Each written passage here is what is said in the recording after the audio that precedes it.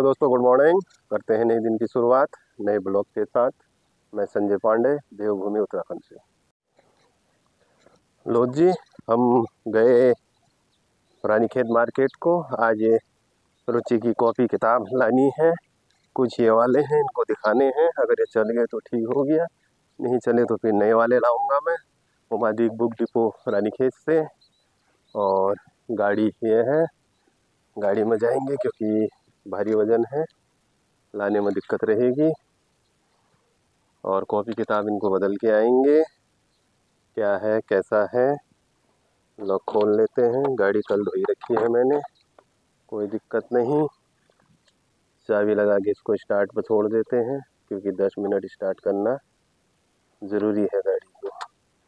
और इसको रख देते हैं पीछे साइड को। ये बैग को ठीक हो गया। अब मैं चला गया हूँ तहसील की ओर भाइयों ये है नीचे केमो स्टेशन रानी खेत का। ये है बीडी कॉम्प्लेक्स और ये है नीचे पेट्रोल पंप। ये पहुँच गया मैं तहसील, सुनसानी है पूरे इलेक्ट्रॉन की वजह से। अब मुझे यहाँ से खतौनी निकालनी है और तब जाके मेरा इस निवार बच्चों का बनेगा। यह है तहसीलदार महोदय बैठे हैं यहाँ पर। यहाँ भी सुनसानी है, ये देखिए, तहसील रानी खेत न्यायालय, नायब तहसीलदार रानी खेत और ये है पुरानी बिल्डिंग, अंग्रेज़ों के टाइम की, ये राजस्व निरीक्षक बैठते हैं इधर सदर रानी खेत यहाँ पर नई बिल्डिंग बन गई, पहले पुरानी बिल्डिंग थी, अब इस टाइप की बन गई है दोस्तों ये ये देखिए। ये पूरा टूटा, ये है पुराना ज़माना अंग्रेज़ों के टाइम का।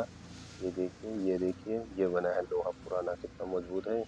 दो कब्जे भी हैं नदी देखिए ऊपर नीचे ये, इतना लोहा है कि इसको कोई तोड़ भी नहीं सकता है। यहाँ से मैंने खतौनी निकाल लिया, अब इनको बता दिया है। और ये है पुरानी बिल्डिंग, देखिए।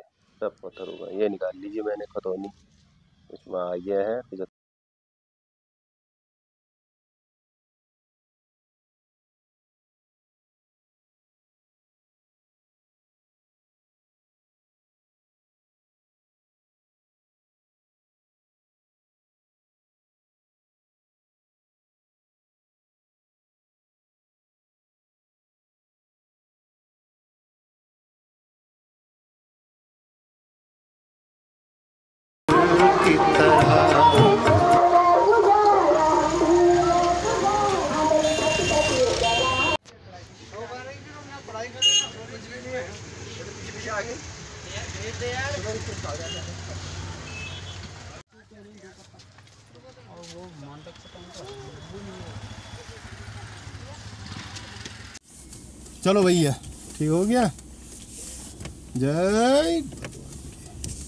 एडमिशन एडमिशन हल्द्वाड़ी पुन ऊपर और ख़तरनाक लाइन है प्लेन ना तीन चार हज़ार किताबें की आई एडमिशन फ़ी यो फ़ीस आय अलग है ना आई बैग है जो चलो जी रुचि का काम कर आए हैं कॉपी किताब ले आए हैं तीन चार हज़ार की किताबें आ गई हैं अभी दो किताब और आनी है उसमें वो स्कूल में भेज देंगे कह रहे हैं टीचरों को बता देना कह रहे हाँ, पुराने वाले जो हैं केवल एक एन में हिंदी, इंग्लिश, मैथ। भाई यही लगनी है। बाकी सब कमाई के साधन है। दो सौ नब्बे, तीन सौ नब्बे, चार सौ नब्बे ये रेट है किताबों के, बताओ। ऐसा हो रहा है, पढ़ाना बड़ा टफ फिर उसके बाद कोई गारंटी नहीं है, नौकरी, वोकरी, जो भी हो। न? चार हज़ार की तो साले किताबें आ गई हैं। अभी ये एडमिशन की फ़ीस अलग हुई। फिर उसमें देना है। क्या पता आप भेज दें, शाम को रसीद। हो फ़ीस की? हाँ वो पहले भेज रहे हैं फ़ीस को। हाँ अब जो मतलब छो को ना? यह है कहानी भैया बच्चों के साथ अभी दूसरा बच्चा एक और है वो गया नहीं है। नहीं तो उसका भी पड़ता है फिर अभी है? एक ही के ये हाल हो रहे हैं। बताओ। है खिरखेत गर्म होने लग गया है लेकिन वैसे भपका हो रहा है। ना है यहाँ से पानी की कमी होने लगी है होटलों को जाने लग गया है। पानी? गदेरा है यहाँ पर बढ़िया वाला। या गया सोखोला श्यामजू मंदिर। जय श्यामजू की। बगल पर भी रुचि का स्कूल आता है। यह आ गया रुद्राक्ष पॉइंट। यहाँ पर आप यज्ञ कर सकते हैं। अभी कंस्ट्रक्शन चल ही रहा है इधर को भी। मकान मकान बनी रहे हैं। यह आ गया झलोड़ी और यह आ गया पीपीएस स्कूल। यह आ गई रुचि की स्कूल की गाड़ी। यह आ गया स्कूल सामने ये है पुरानी वाली गाड़ी।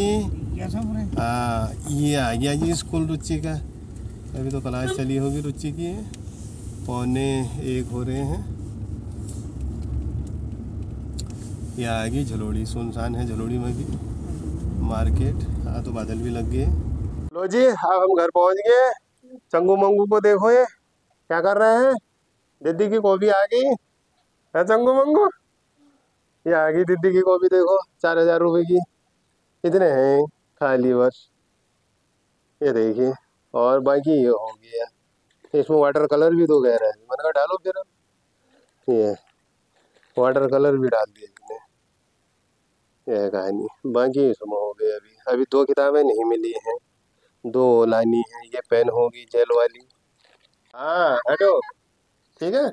जो लग रहे हैं इनको करेंगे, बाकी इनको वापस कराएँगे भैया। हाँ क्योंकि वो सेम वही लग रहे हैं ना, ये देखो। क्या है रुचि की कॉपी किताबें? हाँ कंप्यूटर भी एक ही है, रिमझिम वाला भी एक ही है, ये भी एक ही है ड्राइंग ये भी खाली बढ़ा रखी है। इसको भी वहीं दे के आएँगे कल।